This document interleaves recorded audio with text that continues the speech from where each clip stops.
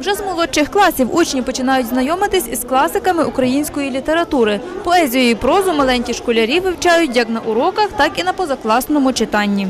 Ми вивчаємо Ліна Костенко, Тарас Шевченко, Іван Франко та багато інших. Зараз ми читаємо е, е, Олександр Копеленко «Крідне Бурака.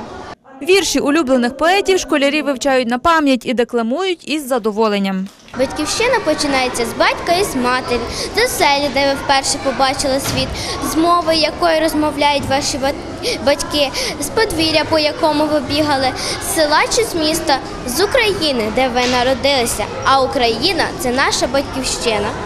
Українську мову і читання учні початкових класів третьої школи Тернополя люблять. Наприклад, для четвертокласника Василя Лукащука це улюблені предмети. Нещодавно хлопчик відкрив для себе фразеологізми. Не дуже часто, але намагаюся їх використовувати, коли роблю, наприклад, самостійну роботу. А як же збагачують це? Е, Це можна назвати перлиною нашої мови. Свято української писемності та мови для третьої школи Тернополя традиційне. Готуються до нього як учні, так і вчителі дуже наполегливо і серйозно.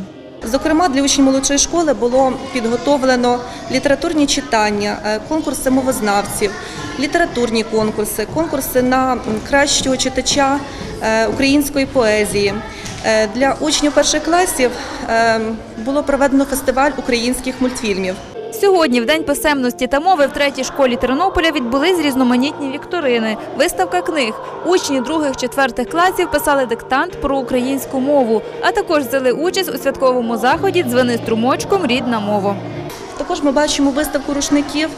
Е, Вони, е, як кажуть, рушник це невід'ємна частина українського побуту, і тому кожен з діток приніс е, ті рушники, які ще вишивали їхні бабусі, прабабусі. Навіть тут є рушники, які вишивала моя бабуся Надія Новак ще в 30-х роках.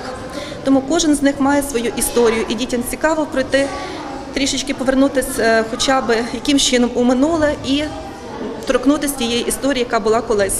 Я вважаю, що такі мероприємства, яке сьогодні проходить, це є ну, дуже потрібне. І взагалі я скажу, що третя школа вона робить дуже багато мероприємств, які йдуть на користь і розвитку дітей, для їхнього майбутнього, і е, для поглибленого вивчення всіх наук, які вони долають в тій школі.